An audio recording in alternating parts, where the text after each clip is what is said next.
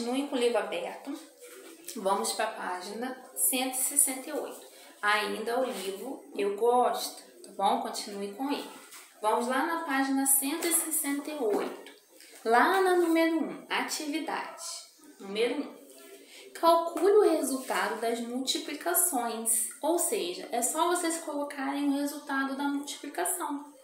A, 2 vezes 3 é igual a B, 4 vezes 3 é igual a C, 5 vezes 2 é igual a D, 3 vezes 2 é igual a E, 3 vezes 4 é igual a F, 2 vezes 5 é igual a... Só colocar o resultado. Agora, compare os resultados da primeira coluna com os da segunda. O que você pode concluir? Ou seja, a coluna, a primeira coluna é ABC, a segunda é D, E e F. O que, que você observou com os resultados? São resultados iguais? São resultados diferentes? Tá? Observem bem aí. 2. Ligue as figuras às multiplicações correspondentes. Depois, encontre os resultados das multiplicações. Então, eu tenho aqui as barrinhas, tá? Eu tenho a primeira, as barras, cada, cada quadradinho representa uma unidade, tá? Então, a primeira eu tenho quanto, ó? 1, 2, 3, 4, 5, 6, 7, 8. 8. Então, quantas fileiras eu tenho? Eu tenho duas fileiras e quatro colunas. Então, vai ser representada por qual multiplicação? 3 vezes 3, 4 vezes 3 ou 2 vezes 4. É só você ligar e colocar o resultado, tá? Embaixo eu tenho três colunas e três fileiras. Então, vai ser representada por qual multiplicação? 3 vezes 3, 4 vezes 3 ou 2 vezes 4. É só você ligar e colocar o resultado lá na frente. 3. Pinte as flores conforme a legenda de cores, tá? Quando der 12, você vai pintar a flor de vermelho. Quando o resultado der 8, você vai pintar de amarelo.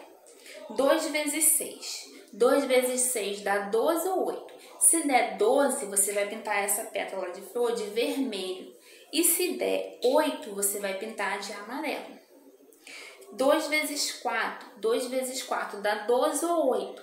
Se der 12, você pinta a flor de vermelho. Se der 8, você pinta de amarelo. Tá bom? Depois tem a tabuada de 2 e de 3 aí para vocês treinarem, tá? E agora nós vamos lá para 170. Atividade. Lá na página 170. Número 1. Calcule mentalmente, ou seja, vocês não vão fazer a contagem nos dedos aqui. É para vocês saberem a tabuada, tá? Vamos lá. 2 vezes 2, B, 3 vezes 3 é igual, C, 5 vezes 2, D, 1 vezes 1, E, 8 vezes 2, F, 9 vezes 3, G, 6 vezes 2, H, 1 vezes 2, I, 4 vezes 3, J, 1 vezes 3, H, K, 6 vezes 3, L, 7 vezes 3, M. 3 vezes 2, N. 4 vezes 2, O. 5 vezes 3. Só colocar o resultado. 2. Complete as seguintes multiplicações. Tá? É também para vocês colocarem o resultado. A. 5 vezes 7 é igual a... Quanto que é 5 vezes 7? B. 9 vezes 5 9 vezes 5 é igual a C. 3 vezes 8. D. 7 vezes 5. E.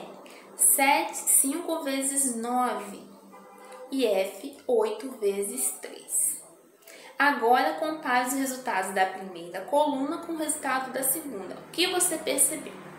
Tá? O resultado que vocês colocaram deu igual? Por que, que deu igual? O que, que você percebeu aí? Tá? Questão 3. Complete as sequências. Aí eu tenho letra A, 0, 2, 4, ou seja, eu estou adicionando de 2 em duas unidades. Eu comecei com 0, depois eu tenho 2, adicionei mais 2, fiquei com 4. Se eu adicionar mais 2, eu vou ficar com, e assim conse é, consequentemente, tá? B.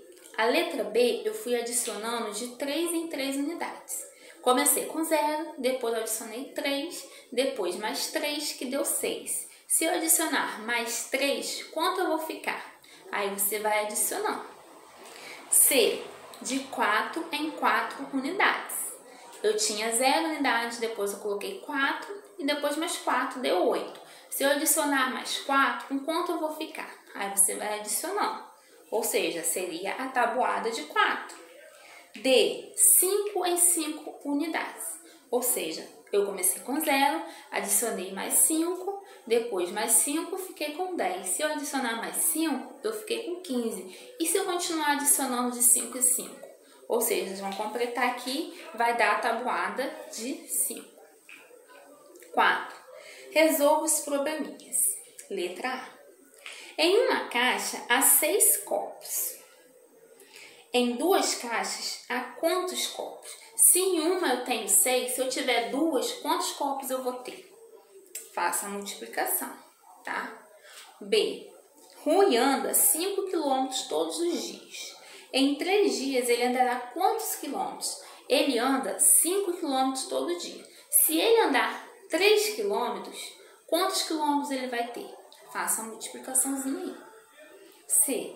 A sala da casa de Joana tem quatro janelas. Em cada janela há dois vidros. Na sala há quantos vidros? Faça a multiplicação. Ela tem quatro janelas. Em cada janela tem dois vidros. Qual é o total de vidros que ela vai ter? Tá? Continuando agora na página 171.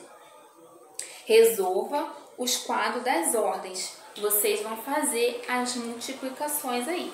A Monique já explicou como que faz, né? Fica a unidade, sobe a dezena, tá? Agora vocês vão fazer essas continhas aí, tá? Letra A, 43 vezes 3. B, 122 vezes 3. C, 84 vezes 2. D, 203 vezes 3. E, 62 vezes 4 F 212 vezes 4, G 323 vezes 3, H 421 vezes 2, I 50 vezes 5, J 110 vezes 4, K 240 vezes 2 e L 232 vezes 3, tá? Então, bem fácil, tabuada de 2, 3 e 4 só aqui, tá bom?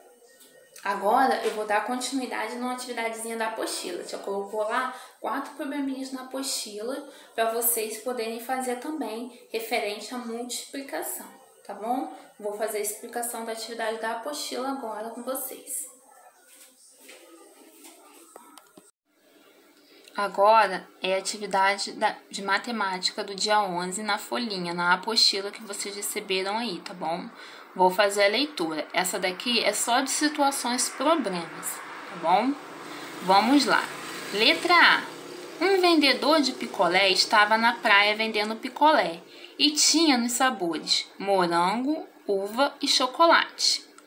Ele tinha 35 picolés de cada sabor. Quanto picolés ele tinha? Tá? Então, vocês vão fazer aqui um probleminha de multiplicação, tá? É, ele tinha 35 picolés de cada sabor, sendo que ele tinha três sabores, tá? Aí façam aí a continha que vai dar lá a resposta. B. Comprei para minha casa cinco caixas de azulejo. Cada caixa continha, vem com sete azulejos. Quantos azulejos eu comprei? Então vamos lá. Comprei para minha casa cinco caixas de azulejo. Tá? Então são cinco caixas. Cada caixa, dentro da caixa, vem sete azulejos. Então, qual é o total de azulejos que eu tenho aqui? Se eu comprei cinco caixas e cada caixa tinha sete, qual é o meu total de azulejos? Tá? C. Beatriz pedala 6 km por dia Se ela pedalar o mês inteiro de maio, quantos quilômetros ela vai pedalar? Quantos dias tem maio, gente? Vê aí no calendário de vocês. Quantos dias tem o mês de maio? Vocês vão pegar a quantidade de dias, tá? E vai multiplicar pela quantidade de quilômetros que ela pedala por dia, tá bom? Então vocês precisam consultar, quem não sabe, consulta aí um calendário e ver quantos dias tem o mês de maio, tá bom? D. Márcia comprou um fogão que custou nove parcelas de 285 reais. Quanto custou o fogão? Ou seja, ela foi lá e parcelou o valor total do fogão, tá? Em nove vezes de 285 reais. Eu quero saber quanto que custou o fogão, o valor total. Se ela fosse pagar à vista, quanto que ela pagaria? porque ela parcelou, ou seja, ela dividiu as prestações. Eu quero saber aqui o valor total do fogão, quanto que custou, tá bom? Muita atenção na hora de resolver os probleminhas, tá? Façam com bastante calma e bastante atenção.